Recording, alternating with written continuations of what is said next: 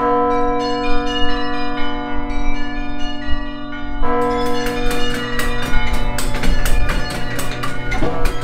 ben Malgosia Fiebig, de stadsbeheerder van Utrecht en Nijmegen.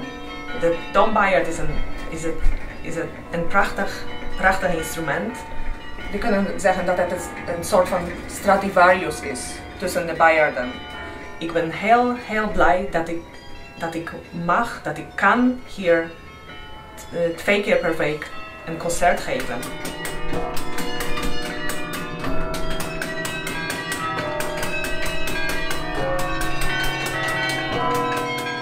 Het thema van het festival Oude Muziek eh, dit jaar is van Zweling tot Bach.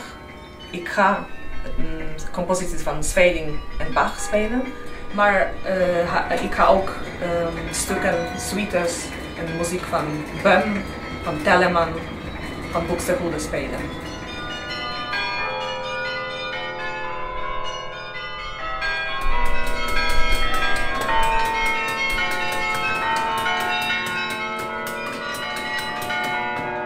Het festival Oude Muziek.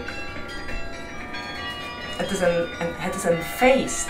Zoveel prachtige concerten, zoveel prachtige muzici. En alles in één plek, in één stad. Elke jaar is het een feest voor mij.